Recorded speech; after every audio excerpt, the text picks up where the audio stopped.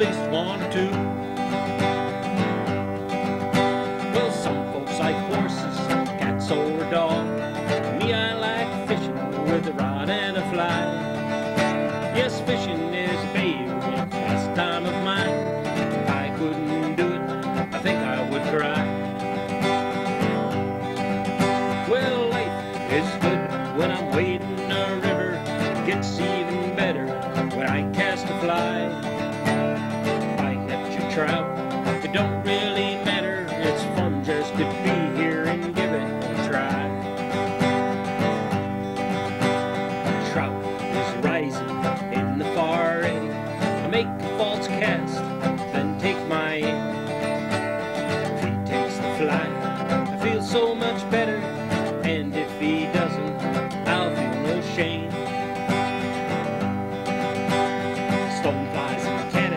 And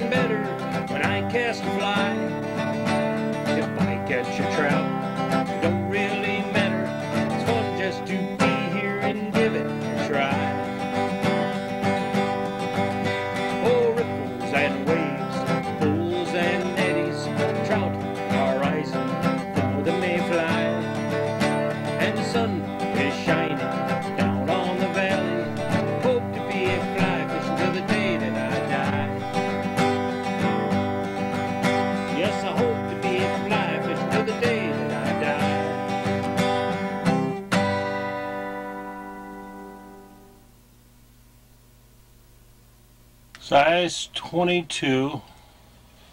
Size 22 trico. I'm going to use black thread. I'm going to tie that on the hook.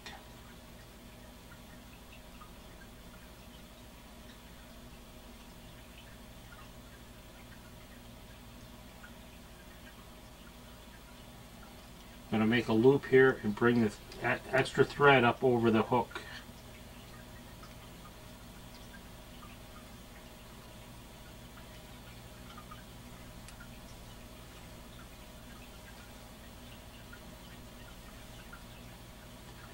Pinch that and wrap it.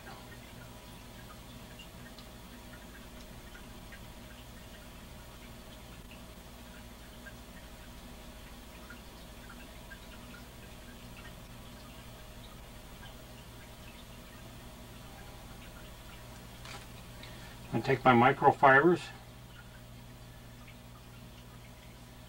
just a few of those. You don't need a lot. It's a tiny fly. Size 22, we're going to measure that. Trim it.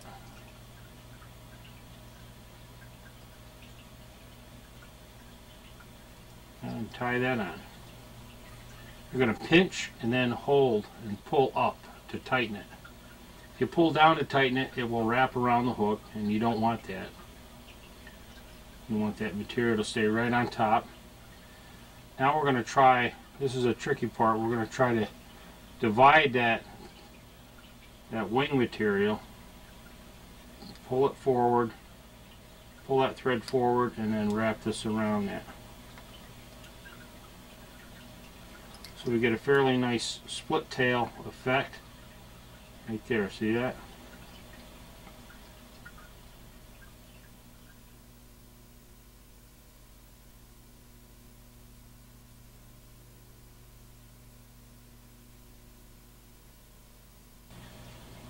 We're going to wrap that thread up for the body, up to where we're going to start the wings. The wing material is pretty simple. It's just a very small amount of poly uh, Comparapost material and I use white. My scissors aren't cutting very good today. And I'm going to pinch that and wrap that around. Tie it on there good and tight. Right about at the shoulder of the hook. And then I'm going to try to split this with my scissors into two bunches. Okay? Two bunches that are equal. And I'm going to tie one off on one side with uh, figure eights. I'm going to tie the other off on the other side so that they come straight out. Okay? It's like a rusty spinner, only black and much, much smaller. Okay? There's our wings. Now we're going to take a very small amount of black dubbing and we're just going to use little little parts of that. We're just going to dub that on there. Spin that right around the thread. Nothing unusual about that. Maybe a little more. We want this thorax to look nice. If you actually look at the Trico, he's uh, got a beefy, beefy thorax. We're going to wrap this around those wings in a figure eight pattern. If we can. And wrap up to the eye. And you can do a whip finish, you can do a half hitch, whatever you want to do.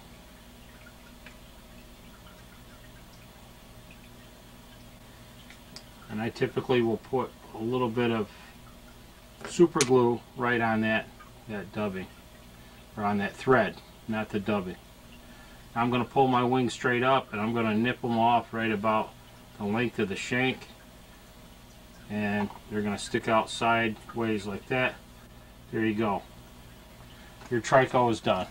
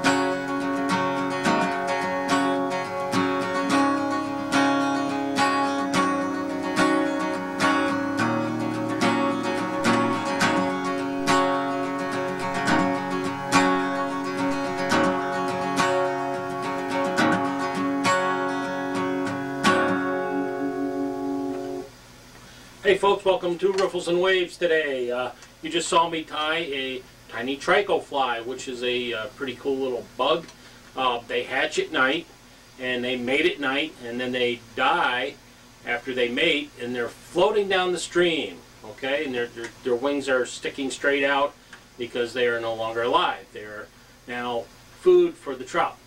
So when you fish a trico, it's usually in the morning, and um, it's a trico spinner. It's a it means a spent wing, you know, configuration. The wings are straight out, and as you saw in the in the video there, um, the tricos are pretty small. They're usually from 18 down to 22, 24s, um, and uh, you really can't see them out there. You cast out there, and you just are guessing where your fly might be, and if you see a ripple there, you tighten the line. It's it's pretty much uh, uh, guessing where your fly is because it's very hard to see them. But they do feed pretty heavy on tricos. I've seen big hatches uh, up on the Au Sable um, of midges and, and tricos floating down. Um, I've also seen uh, seen it on the west branch of the Delaware, Hale Eddy. Sometimes in, in the summertime, like uh, late July, early August, there'll be a good trico hatch early in the morning. And if you're out there 8, 9 o'clock in the morning, uh, you'll catch some nice fish using a size 20 trico. Now, uh, again, they are small. You need a magnifier like this to tie them, at least I do. And uh, that's pretty much uh, uh, all I need to say about a trico. They're a spent wing, and there's no reason to try uh, tie a trico dry fly I mean, there's just no reason to. I also want to remind you about the Al Hazzard Chapter Banquet uh, uh, coming up on uh, March 26th. Uh, it's at the Shriners again. And uh, you can email me if you want more information about that at avkurt at mac.com. And I'll be happy to forward you a poster of the, of the event. Um, the ticket prices are on there, and, and I'll give you all that information. But that's the Al Hazzard Chapter Banquet. Now we need help getting prizes and donations. If you're a business and you like this show and you want to support Trout Unlimited, uh, contact me and I'll let you know how you can get a tax deductible donation made. Uh, we also have raffles and prizes going on. We have grand prize drawing. Uh, tickets are five dollars a piece, uh, three for ten dollars, or something like seven for twenty dollars. So, if you want to get tickets for the grand prize drawing, Grand prize drawing is usually about $1,500 of camping gear, uh, canoe, tent, coolers, everything you need but ice, food, and uh, a place to go, okay? So uh, keep that in mind. So give me an email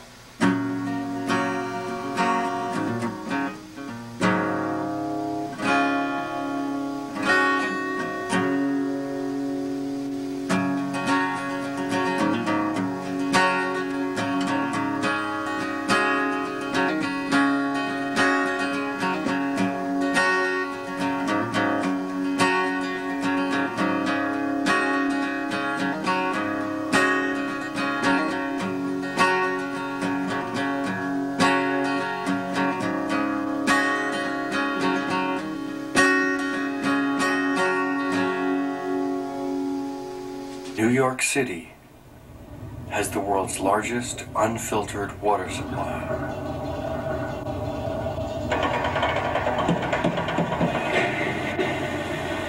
Right now, the natural gas industry wants to drill in our watersheds. The process is called hydraulic fracturing.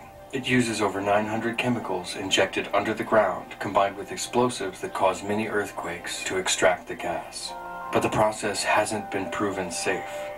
Watersheds across the nation have been contaminated with plastics, carcinogens, mutagens, and endocrine disrupting chemicals, and with explosive natural gas. Whoa! This cannot be allowed to happen here.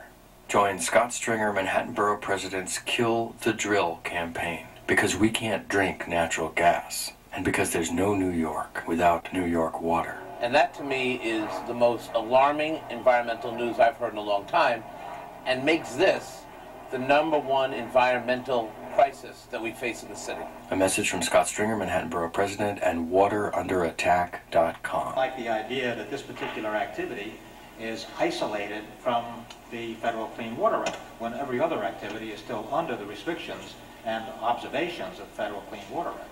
So to us, it just doesn't make any sense, particularly when we have these reports that show toxic fluids are, are showing up in these injection activities, and the consequences of those toxic fluids are having uh, adverse circumstances inflicted upon innocent people.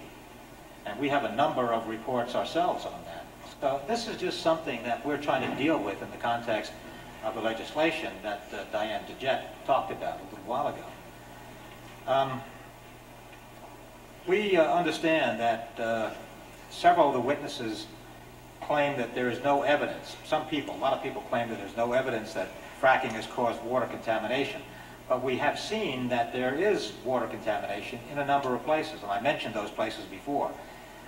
Alabama, Arkansas, Colorado, Texas. I had a call yesterday from a man in Texas that uh, was talking about uh, the impact of these uh, toxic chemicals on his family and how it had contaminated his water supply. So I, I uh, th that's why we're trying to deal with this issue. And I wanted to ask Mr. Appleton if you're aware of any of the independent empirical research that has been conducted that uh, in any way suggests that fracking does not pose a risk to water supplies. Is there any proof out there? Well, anytime you put chemicals like are used in fracking into the environment, it's a risk to water supply if they're not properly regulated. There's also a problem that in states like New York, they don't require incidents uh, to be reported on a systematic basis, so you can't really determine this issue either way.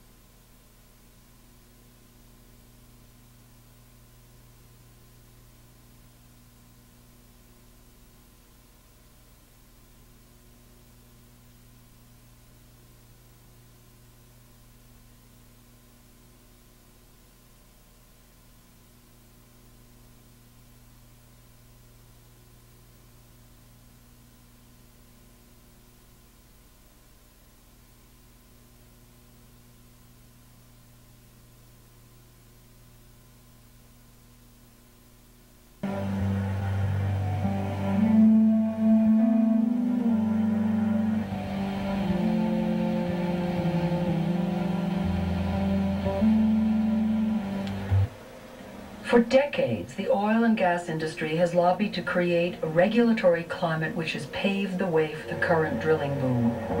Back in 2000, after the Bush-Cheney election, there was a dramatic acceleration in drilling activity. Both had received large contributions from oil and gas interests, and the vice president had been the chief executive of Halliburton, a major player in the drilling industry. Meeting the needs of our growing economy also means expanding our domestic production of oil and natural gas, which are vital fuels for transportation, electricity, and manufacturing. Whatever our hopes for developing alternative sources and for conserving energy, and that's part of our plan, the reality is that fossil fuels supply virtually 100% of our transportation needs below. Many Democrats fought the Bush-Cheney energy policies. They felt they were shut out of the process of developing the nation's approach to energy. This administration is a gas and oil administration, frankly, and, and so they're, they're wedded to an old policy. They're wedded to a 20th century policy when we need a 21st century policy. You have the Bush administration, you have two oilmen at the very top, and they aren't sympathetic. They're making very serious mistakes because they've talked to themselves and the energy companies and only themselves and the energy companies. We don't know what other provisions may have been added in, uh, special interest provisions that, that are easy to add in when you're writing one of these bills in secret. In 2005, the administration's energy bill passed with support from members of both political parties. It provided the gas and oil industry with billions of dollars in subsidies, tax breaks, and research money. 65% of the current subsidies go to gas and oil, and you have this imbalance. We ought to have 65% or more, 80% ought to be going to alternative renewable technology, to energy efficiency, The energy bill makes practical reforms to the oil and gas permitting process to encourage new exploration. After years of debate and division, Congress passed a good bill.